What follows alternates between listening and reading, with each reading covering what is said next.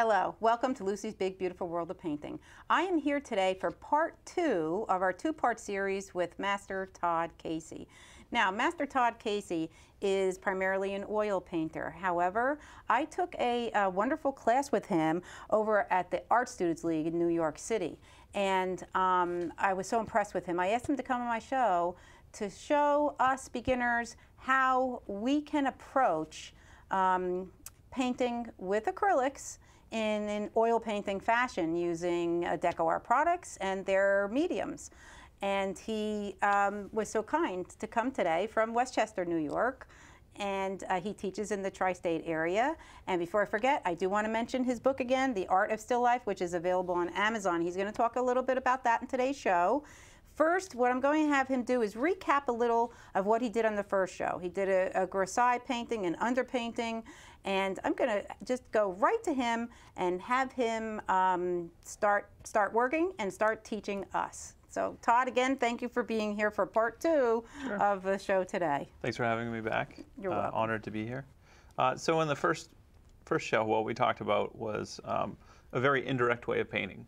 Uh, ties back to the old masters, the Renaissance painters, and uh, all the way taken up through the French academics uh, like Bouguereau and Jean Leon Gérôme. Uh, those are an extension of where I got my training from. So it was kind of a lineage passed down. Uh, one of the things that they would do would, would be a monochromatic underpainting uh, called a grisaille.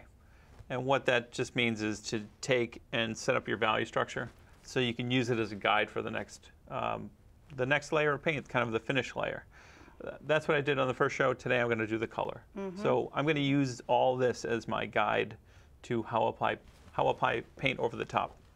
Um, to avoid pitfalls, one of the things I want to do is to think about the uh, and articulate the light source.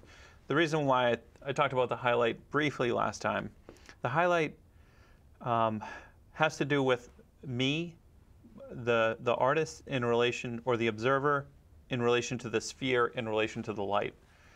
The form and the lightest part of the form has to do with the light most facing plane.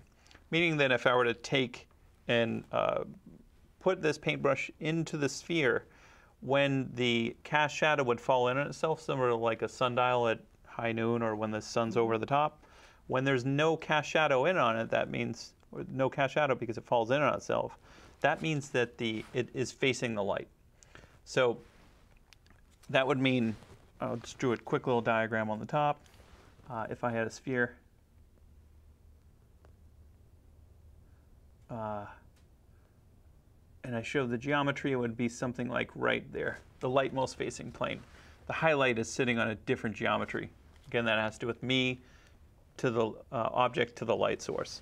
Okay, and the way you're viewing it from where you're sitting, somebody sitting someplace else may view it Right. In If you were to peek spot. around, you would right. see it. It meets you over here. Okay. That's why uh, you'd be chasing the highlight mm -hmm. rather than painting to the lightest part. I just would like to say you're, today you're using the um, DecoArt Traditions brushes, and right now you're using a small round brush. And I know that you have a, a number 12 flat and a filbert in case you need them. Yeah. Right now, um, he's uh, Todd is just starting with the uh, the round brush. He's mm -hmm. going to use a variety of blues. Um, uh, probably cobalt, and uh, you have a cobalt yeah. out and a ultramarine. Um, the um, the canvas, it's not the canvas. He's using a panel. Todd, show us your um, your panel there from uh, Company. So this is a, uh, a that you want to work on a harder surface. Uh, even if you have linen on, you would want to glue it onto a panel over time we found out that uh, linen expands and contracts due with the moisture in the air. Mm -hmm. Something like a panel, wood still does expand and contract a little bit, but masonite, less. hardwood, but this right. Trekell is a very, very nice Yeah, panel. these are great.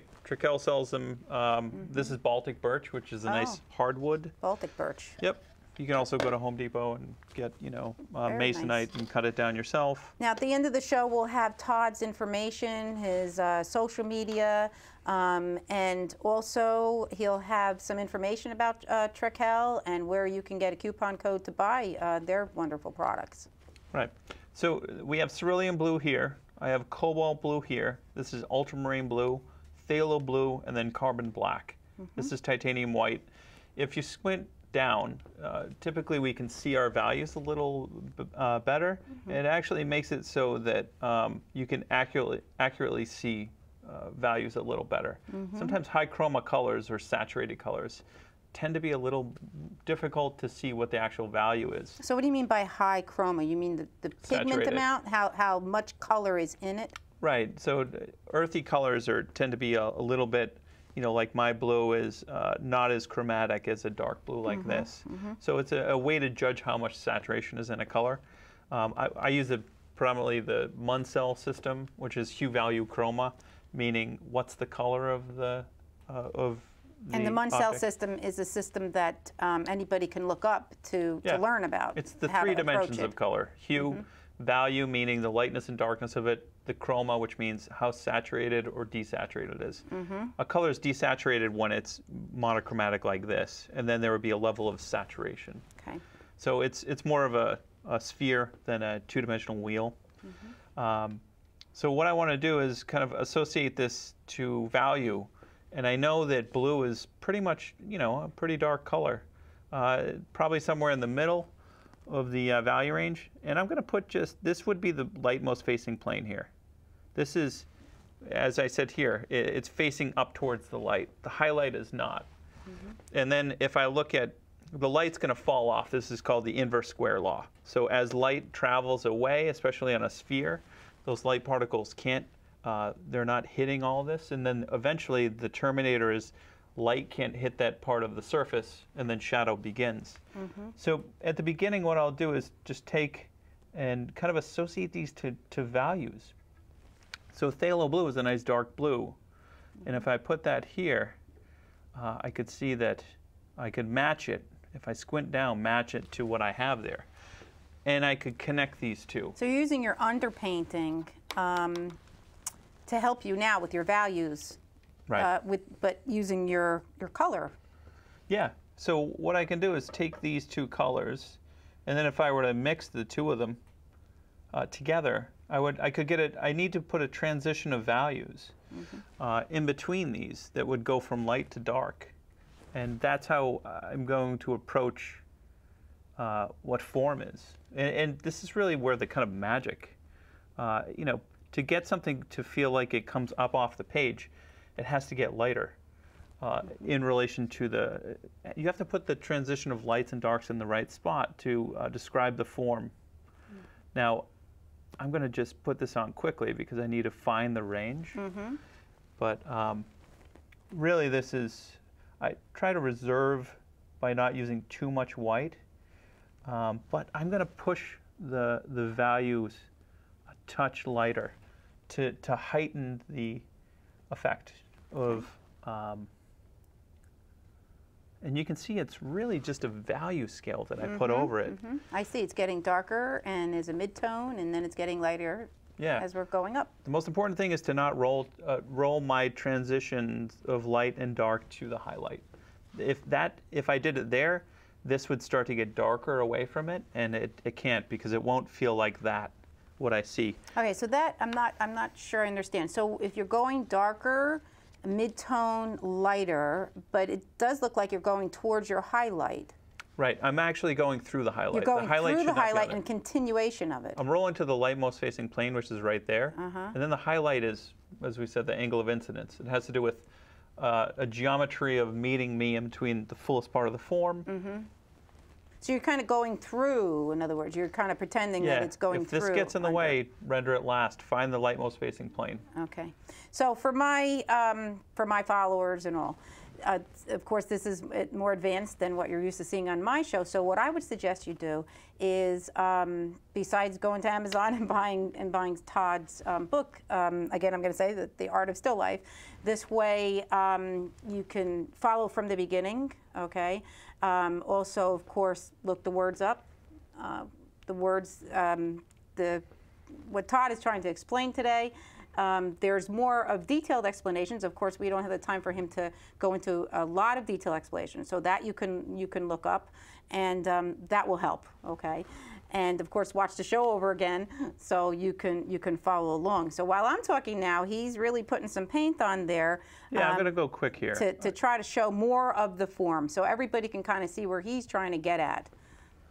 Yeah, and, and, and really what I want to do is just make sure that as I'm bending these values over this uh, over this sphere, um, I'm, I'm just putting them in the correct order, uh, bending towards the light and not towards the highlight. But each brushstroke is lighter or darker than the one I see before it. It's, it's a way of, uh, we call it getting on the form. And uh, it, it really, it's very similar to music, where if you do value or scales, you're going either um, higher or lower. And essentially, I feel like I'm playing an instrument, just, you know, rendering from light or uh, from light to dark or from dark to light. Right now, I've kind of established just quickly where the light most facing plane is, so I know that every piece of form, I don't always get it correct, is going to be uh, lighter or darker than that. So again, the So you're not necessarily, if I'm correct, going from um, the value scale like um, dark, a little lighter, a little lighter, a little lighter, all the way up. Sometimes you're putting a mid-tone in between more to separate the, the coloring everything should be lighter or darker to get next on, to each other. Yeah, well, to get on the form, I want to think, is this piece of value lighter or darker than the last one? Because it orients where the light source is. Mm-hmm. If I don't, and I start to jump around and to put values in, in different places, it's getting off the form. It's kind of copying optically what I see in front of me, rather than understanding uh, that light um, kind of falls on this form. Uh, Right. It's it's an understanding of the light. And so it is better than to kind of follow darks up to the, leading up to the light. That's what you're saying. Yeah, I don't want to jump around because if I jump around, I know that, um, you know, and if I had more time, I'd show you a bunch of uh, optical kind of illusions in which the simultaneous contrast is one of them. Josef, uh, I believe, not Josef Albers, the, the Gestalt psychology, they talk about them, where it's just if we had the same value sitting in between a light and a dark, you wouldn't be able to know that they're, the eye just, the, the eye can't transmit the information to the brain, and we constantly are just um, we think one's darker than the other one.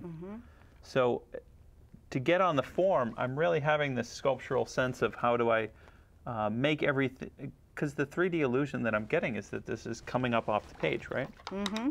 And that's really what I want to, um, just the illusion I'm going for. So This is a flat panel, trying to make it look 3D. exactly, yeah. You start with the flat panel. you know, and may not get it right. I recommend to get on the form and then uh, roll your transitions of light to dark. Uh, acrylic, you know, different properties than oil. Yeah. Oil, I, I wouldn't so much go back and and render uh, what I'm doing right now, kind of work back into layers. But um, the goods and the bads of this is that uh, it dries really quick, Mm-hmm. so I can uh, alter it. And do you find the medium helps you sometimes then to extend it? To Yeah, it gets extend the a little- drying time? Yeah, it gets a little thicker. Because I noticed once in a while you were using the um, extender medium. Yep. Oh, so that reminds me. Um, uh, Todd uh, used the uh, DecoArt Chalky Gesso as his um, primer for the um, panel. Okay, so this is a really nice product to use underneath.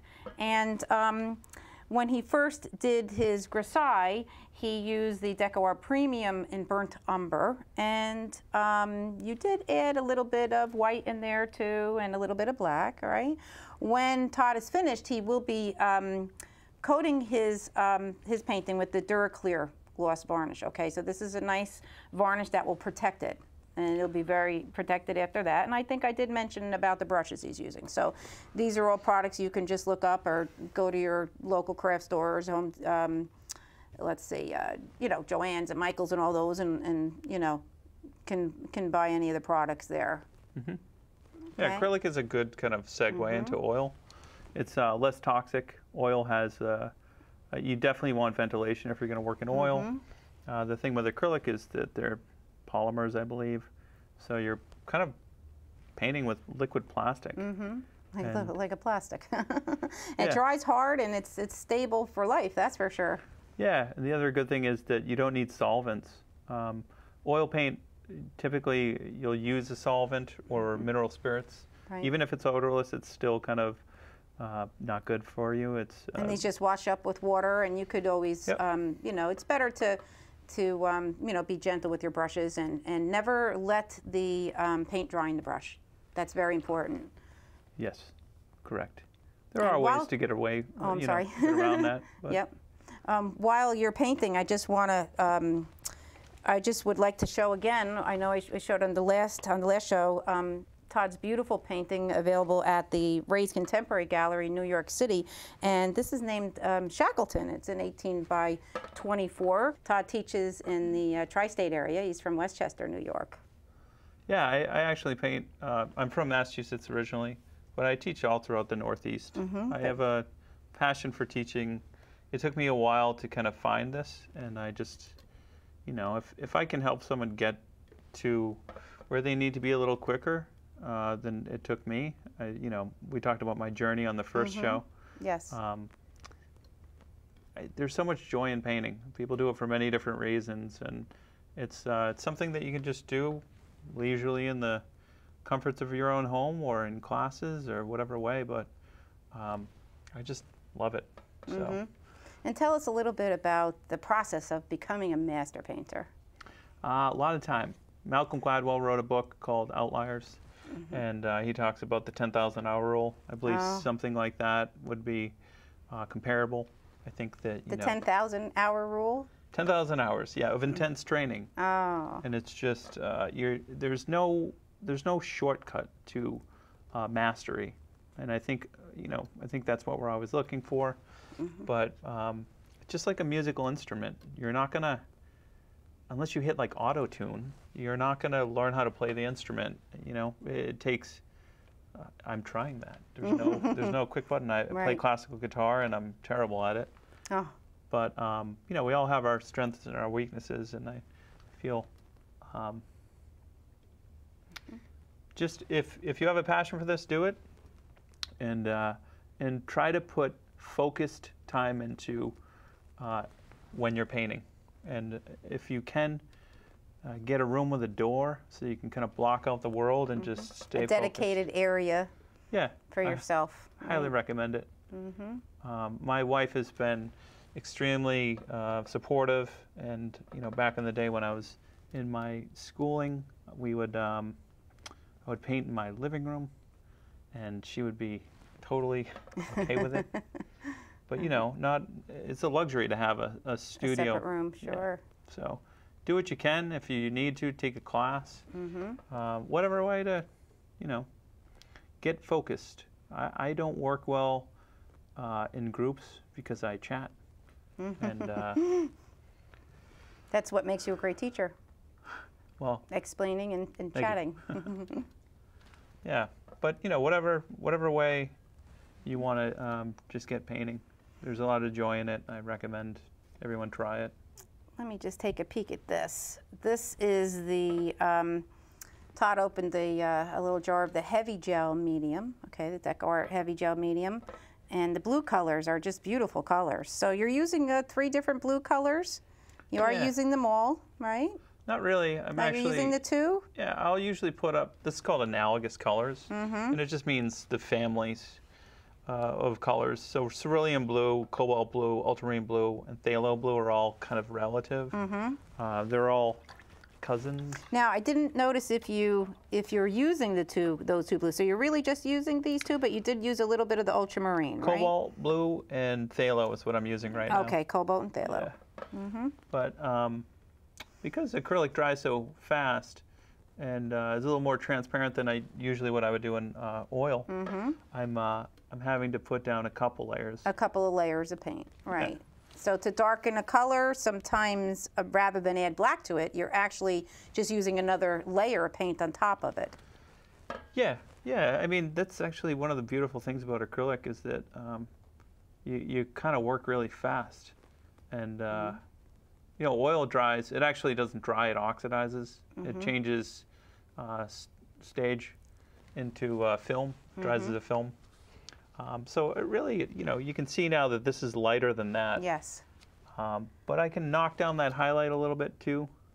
by- this is- again, the beauty of working in acrylic is just knock it down a little bit, and then I can add thickness to it to build it back up. Mm-hmm. You know, it depends what the surface of the material. You know, that's also the good thing. You don't want to do that with oil. Yeah, but um, I can knock it down, uh, depending on the surface and how um, how clear the reflection is, uh, or the highlight, which is really just light particles bouncing off the surface. It describes what the what the surface is. And Todd is using a butcher's tray, and he wet a um, paper towel and laid his paints on the paper towel to keep it damp on one side, and the other side he has a dry paper towel, so Yeah. he can use that. And he's holding a paper towel and wiping his brush as needed. So you can see that this is feeling three-dimensional. But what I didn't do is I didn't render much in my shadows because shadows have to be rendered carefully. And if I go too light, it's going to jump out. Mm -hmm. But at the end, uh, it was described to me from one of my teachers that shadows should be light and airy, meaning that they should be more of a whisper Oh, than uh, kind of jumping out at you.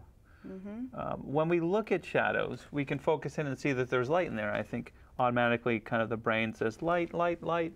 Look at the light." so then how how how are you going about instead of just painting the shadow pitch black? Uh huh. I, I noticed you're, you're putting a little blue in there now. Is that how you're making it look more uh, atmospheric, so to say? Yeah, I mean, uh, what's happening is the light particles are bouncing down off of the surface. We used a black uh, backboard here, foam core, so that the light particles actually, you know, it's the reason why um, in sunlight you wear white outside because the light absorbs into the material. For black, they will, uh, You'll be warmer. yeah, you'll be warmer. Yeah. So, uh, same sense, the light particles are, are being absorbed into this more than they would on a white wall, where mm-hmm. they would bounce off you, which is why you want to wear a white shirt to Right. bounce all the heat off of you in the summer. Mm-hmm. So instead, um, they absorb into it, so the light is not reflecting into the shadows, and they mm-hmm. tone them down. If I were to take that out and put a white background, you'd see this like you wouldn't be able to see the light in the shadow. Hmm. So importantly, I'd say one thing you want to do in your in the comfort of your own home is find a scenario where you can control the light. I think it's super important. Mm-hmm. But what I want to do is just slowly kind of step into what the value of that shadow is. So you're kind of actually toning down the shadow. Yeah, I'm actually lightening it, but I'm using the shadow to guide me. Because Mm-hmm. just like in relation to these two values, that's lighter than that. Yes. And that's really where the tone of the, the shadows are. But instead, my eye, uh, my brain actually says, oh, light. And I go white. And that's Mm. consistently, it has to be this tiny range. Instead Mm-hmm. of, um, you know, jumping quickly uh, to something, uh, it's, it's really more of a small step. It's just that uh, almost like what happens with our eyes is we have cones and we have rods, right? And in the middle of the night, uh, if you get up to go get something from the refrigerator, you'll notice that, you know, you don't see anything at first, and then all of a sudden the, uh, the uh, rods in your eyes are starting to work. They're the light and darkness. right, they- like taking time to adjust. Right, and then uh, what happens when we look in the shadows is we just see a lot more than we think is actually there. It's actually a lot darker than what we think. And we notice it as dark, but it's really just a step back. This is that Josef Albers kind of uh, color is always relative to what it's next to, and, and it's going to appear differently. But I think right away we kind of think opposites. So I think dark, dark, light, light, and then I think white, black. But it's really uh, that could be light considered next to that. And really, where good, good masterful painting in is in subtlety of values, not in big, you know, light. Everything is light. Right. I, I, so if you don't, if you want to lighten something, you don't necessarily just go to the white. It's only light in relation to it. Right. It's just uh, that's lighter than that. So instead of jumping, try to tiptoe. Uh, slowly move towards something. You can see now the, the reflected light is starting to feel a bit more uh, closer to probably what it is. I think it could still get a little lighter, but um, I, I really just slowly move into what that what that value is, rather than just jump into uh, white. So um, as you're looking at your setup, okay, um, I know that you're you're using that to help you with your painting, so you can see the the light relationship of the shadows. Do you find that you kind of go off on your own to make it look round, um, you know, especially in a studio setting like this where we have the extra lights. Yeah, you're saying, do I push it a little bit more than I see it? Yes, I do. you do. I do. Okay. You know, because at the end of the day, um, you know, once this uh, painting is viewed without that in front of me, Mm-hmm. this painting has to work. And, and the question is, am I going for a three dimensional feel? And, and do I have that three dimensional feel in the painting when that's not around? And if it doesn't feel it, I will obviously try to push it, you know? Um, but that, again, I think it's objective. You, you can choose not to. You can, you know, throw your brushes down, and uh, when the model's done posing, you're done. And then you're just kind of in the experience. I want to make sure that the painting is its own thing and it functions uh, as its own thing. Well, we just have a couple more minutes left in the show. Mm-hmm. So, um, is there anything in conclusion that, that you would like to say? Yeah, if you uh, master the sphere, it sounds like the most uh, fundamental thing, maybe too easy, but uh, these are just really where everything is. Every object that we see is a, a version of a sphere. Uh, you can really break it down into a sphere, a cone, a cube, um, sphere, a cone, a cube, or a cylinder. And that's really what everything is. So, you beginners cylinder- really should start, your opinion would be uh, to start with. Maybe, yeah, maybe some fruit. They're always Fruit? nice and round and they're spheres. Um, Mm-hmm. you know, Or even like you did, a, uh, a ball or painted Yeah. styrofoam sphere. Yeah. Spheres are always a great place to start. in, in any color, really. Yeah, just like if you were to learn how to play, um, you know, guitar, you'd probably learn the instrument before you. Everyone wants to play Stairway to Heaven, but Right. you'd have to learn how to, you know, hold the guitar. There, there's mastery at every every level. How to use your brushes, how to lay out your paints, how to work on the surface. Every surface is different. There's a ton of tangibles when it comes to uh, uh, painting, and they're all difficult. This looks, it looks fantastic. And I'll leave you with this. Uh, a- an artist uh, once said that uh, painting is like falling down the stairs and it's uh, landing on your feet. So it's extremely difficult. And uh, just focus and uh, start with the, the fundamentals. And if you can master this, you can slowly work your way into to much more complex things. And focusing is not always easy, but Patience. patience. I actually patience put it on my and syllabus. focus. I'm going to say that to my to my followers and my audience. Patience and focus. So um, I'd like to thank um, Master Casey for coming on my show. Remember, this is part two. Um, take a look at the first part. All right. If you uh, if you tune into part two first, go back look at part one, and uh, feel free to to contact us uh, Todd's information will be at the end of the show and take a peek at the DecoArt products that were used today. I'd like to thank DecoArt for, for sending Todd the products um, to try out and uh, which, um, you know, alternatively have uh, turned him into coming on our show. So thank you again for tuning in. Thank you again. It's been wonderful having you. Thanks for having me.